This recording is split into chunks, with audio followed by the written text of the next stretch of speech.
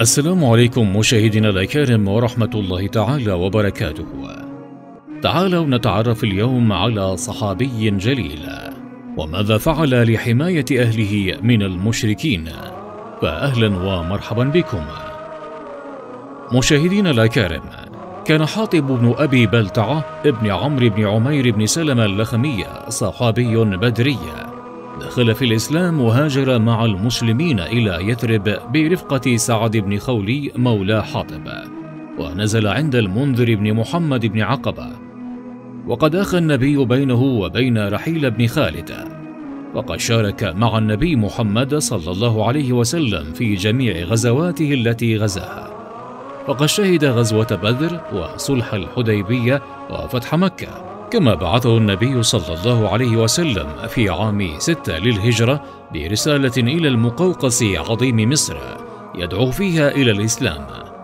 فبعث معه المقوقس ماريا وأختها سيرين كهدية إلى الرسول صلى الله عليه وسلم ولحاطب رواية للحديث النبوي وقد رواها عنه ابناه عبد الرحمن بن حاطب ويحيى بن حاطب صفات حاطب وسيرته قبل الإسلام مشاهدين الأكارم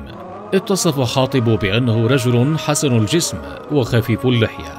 ويميل إلى القصر وأجنب به حدب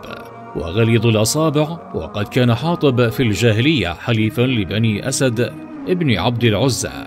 كما قيل أنه كان مولى لعبيد بن حميد بن زهير بن الحارثة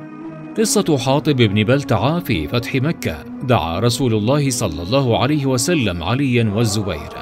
فقال انطلقا حتى تدركا امرأة معها كتاب فأتيان به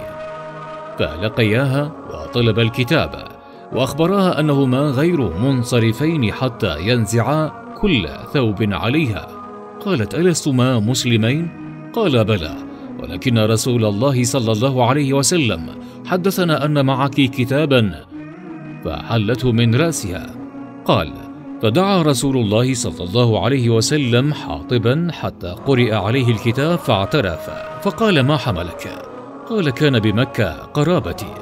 وولدي وكنت غريبا فيكم معشر قريش فقال عمر إذا لي يا رسول الله في قتلي قال لا إنه شهد بدرا وانك لا تدري لعل الله قد اطلع على اهل بدر فقال اعملوا ما شئتم فاني غافر لكم وقد انزل الله في هذه الحادثه الايه التاليه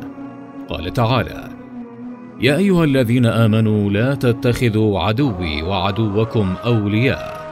تلقون اليهم بالموده وقد كفروا بما جاءكم من الحق يخرجون الرسول واياكم ان تؤمنوا بالله ربكم ان كنتم خرجتم جهادا في سبيلي وابتغاء مرضاتي تسرون اليهم بالموده وانا اعلم بما اخفيتم وما اعلنتم ومن يفعله منكم فقد ضل سواء السبيل وقد قال شيخ الاسلام ابن تيميه رحمه الله وهذه القصة مما اتفق أهل العلم على صحته وهي متواترة عندهم معروفة عند علماء التفسير وعلماء الحديث وعلماء المغازي والسير والتواريخ وعلماء الفقه وغيرهم عندما أرسل حاطب إلى قريش يخبرهم بمسير النبي صلى الله عليه وسلم إلى مكة ولم يكن يقصد خيانة المسلمين وإنما كان يخشى على أهله الذين كانوا يعيشون في مكة كما انه لم يكن له قرابه يحمونهم كغيره من المسلمين المهاجرين فاراد ان يقدم للمشركين خدمه ليضمنوا له حمايه اهله